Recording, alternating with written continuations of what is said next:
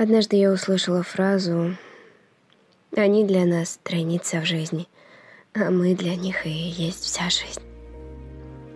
Пожалуй, лучше и не скажешь. В наших силах лишь делать все возможное, чтобы эта жизнь была наполнена любовью и счастьем. Собаки бывают разных пород, мастей и размеров. Они наши самые верные и преданные друзья, а мы учим их хорошим манерам. Собаки всегда думают о нас. Правда, иногда и о беконе.